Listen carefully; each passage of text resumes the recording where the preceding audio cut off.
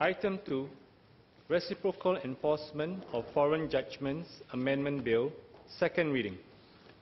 Minister for Law.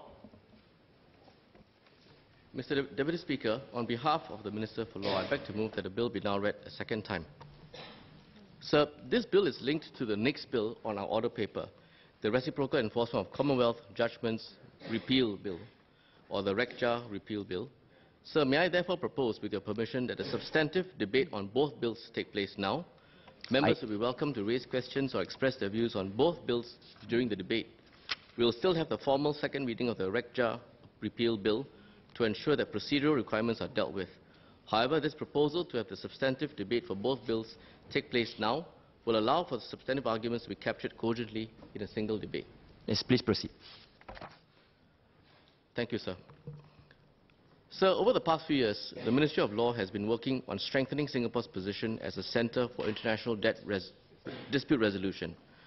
To this end, we have built up a suite of well-regarded international dispute res- resolution services, the SIAC, Singapore International Arbitration Center, and the SICC, the Singapore International Commercial Court, as well as the SIMC, Singapore International Mediation Center.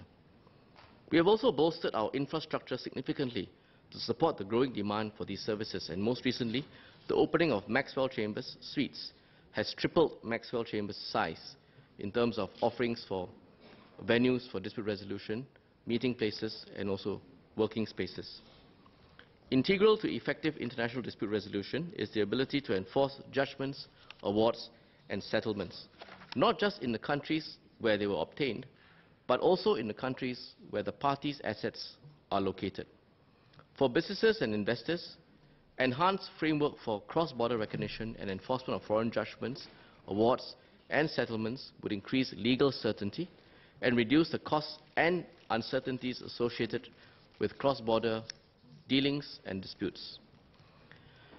Singapore actively participates in and supports the development of appropriate multilateral frameworks for the enforcement of judgments, awards, and settlements resulting from international dispute resolution.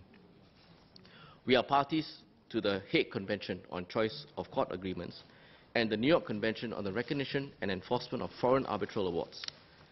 Just last month, we signed and hosted the signing ceremony of the Singapore Convention on Mediation, the first United Nations convention to be named after Singapore, which will complete the picture by filling in the long-standing gap in the enforcement of cross-border mediated settlements. In terms of foreign court judgments in civil proceedings which fall outside of the Hague Convention framework, Singapore's existing legislative framework consists of two acts, the Reciprocal Enforcement of Commonwealth Judgments Act, or RECJA, and the Reciprocal Enforcement of Foreign Judgments Act, or REFJA. These acts have not been updated since their enactment under the British colonial administration, and the number of jurisdictions under Singapore's Reciprocal Enforcement of Judgments regime is very low.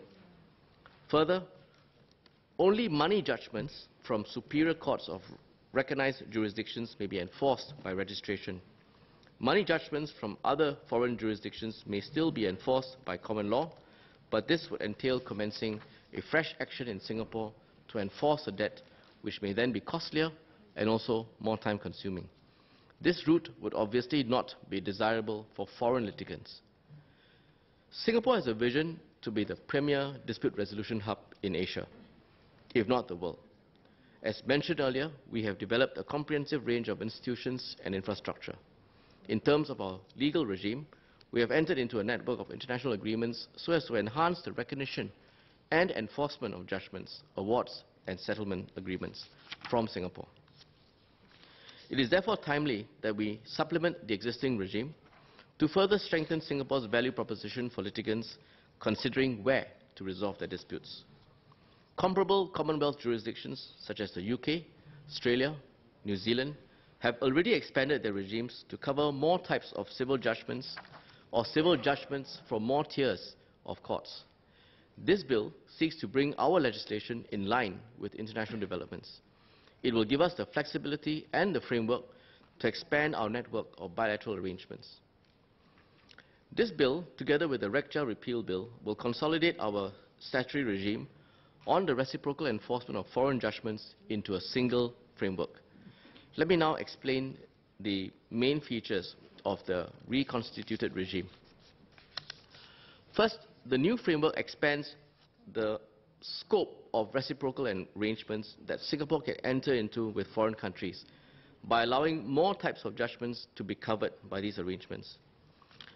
As mentioned earlier, currently the scope of judgments that such arrangements can cover is limited. Only two main types of judgments are covered, and I think the legal practitioners in this House will know that the, bill, the Acts cover final money judgments given by foreign superior courts in civil proceedings, which would, in this case, include foreign judgments that might be based on a right of action conferred by a regulatory statute, but otherwise provides for compensation. So it's the compensatory aspect that will also be caught in the current regime. And secondly, final judgments given by foreign superior courts in any criminal proceedings for the payment of damages or compensation to an injured party. Penal orders, punitive fines, and confiscation or forfeiture orders made in criminal proceedings do not fall within the present or the proposed, if this bill is passed, scope of the REFJA. The bill will expand and modernize the framework by adding four types of judgments given in civil proceedings. So we will bring in four more types of judgments in civil proceedings into the fold recognized by REFJA.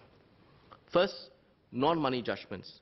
This will enable litigants to realize a fuller range of remedies granted by the courts, and non-money judgments include freezing orders, injunctions, which prevent a party from dealing with assets, to ensure that assets remain available to satisfy an eventual money judgment. So if a party has assets in Singapore, there is an freezing injunction that is ordered in a foreign country. If it is under REFJA, this will then be brought in to the fold as well. It also includes injunctions which require a party to do or to refrain from doing an act. And finally, orders for specific performance which require a party to perform the obligations under a contract, usually to complete a sale and purchase or some other matter where the proceed or the item that is sought is of intrinsic value.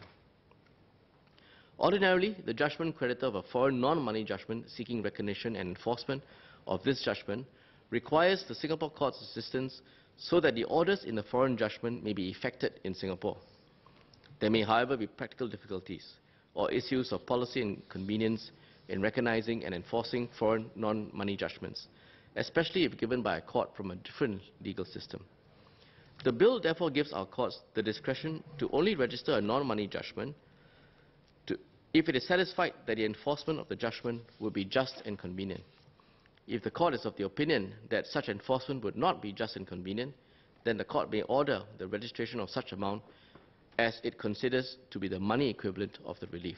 Let me just explain that. If a court considers that the recognition of an order which requires the doing of an act or the refraining from doing of an act, that to be not just inconvenient, then the court may then consider what is an equivalent monetary value and order that in its place. So, for instance, where the court finds that it is not just inconvenient to grant specific performance or an injunction, it may then grant damages in lieu of the relief. Damages may be assessed on a compensatory or restitutionary basis in accordance with established principles on assessment of damages so as to arrive at a fair equivalent of what is lost by the refusal of the non-money relief. In doing so, the court would consider the value of the foreign non-money relief being effected in Singapore given that what the judgment creditor seeks is for the non-money relief to be effected in Singapore. So the assessment tenet is based on the performance in Singapore. Second, lower court judgments. This bill will also will also allow for the recognition and enforcement of judgments from both lower and higher courts. This will also open the doors for judgments from our state courts to be enforced overseas, the bill being reciprocal in nature.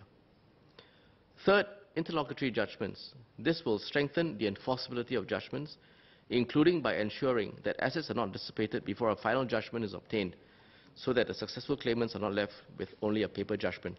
This ties in with my earlier point, where injunctions sometimes, instead of being final in nature, are also interim or interlocutory in nature. This bill also contemplates the recognition of this type of judgments.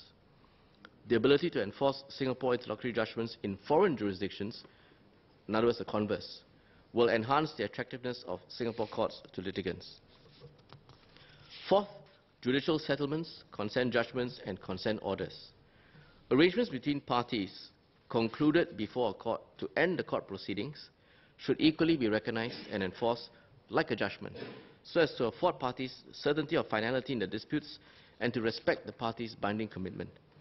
This amendment will also bring the regime under the REFJA in line with that under the Choice of Court Agreements Act, which recognizes and enforces judicial settlements, consent judgments, and consent orders.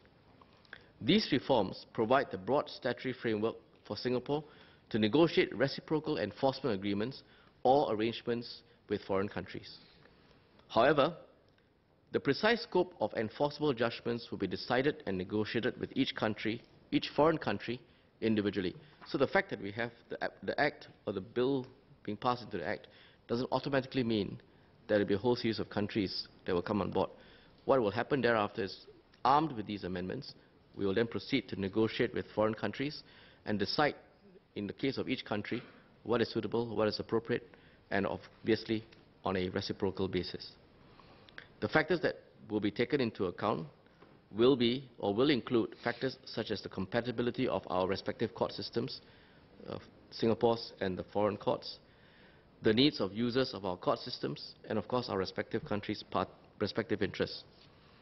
This means that while the reform REFJA will provide a broad menu of options available for negotiation, Singapore might enter into an agreement or arrangement with country A for the reciprocal enforcement of only a limited category of judgments, whereas with country B, there could be reciprocal enforcement of the full range of judgments under the REFJA. So it really depends on what is also being negotiated and what is also being offered by the reciprocal country. Second, to ensure that the requirement of reciprocity is not circumvented or bypassed, the bill provides that some types of foreign judgments will not be recognized. So, for example, if a judgment is given by a recognized court, on appeal from a court that is not a recognized court, in other words, it's an appeal, but it comes, it originates from a court that is not a recognized court, then this would not be recognized under the framework. Or conversely, where a judgment registered or enforced in a recognized court, but which originated from a court that Singapore has no reciprocal enforcement arrangements with, will also fall outside the scope of the framework. Third, to reduce fragmentation of the different regimes, and I think lawyers in practice will know that for a long time we've had to contend with the REFJA and then the RECJA. The RECJA appeal bill provides for the repeal of RECJA on a date to be stipulated by the minister. Reciprocating countries currently recognized by the RECJA are expected to be transferred over to the REFJA regime before the RECJA bill, repeal bill, comes into force. So it will be consolidated into one common reciprocal enforcement act. In conclusion, this bill will expand the scope of reciprocal enforcement and recognition and enforcement of foreign judgments that Singapore can offer to and also at the same time receive from other jurisdictions. In turn, further boost Singapore's status as an international dispute resolution center and hub and also together with the RECJA repeal bill, streamline the process and statutory regime for the reciprocal recognition and enforcement of foreign judgments into a single statute. Mr. Deputy Speaker, with that, I beg to move.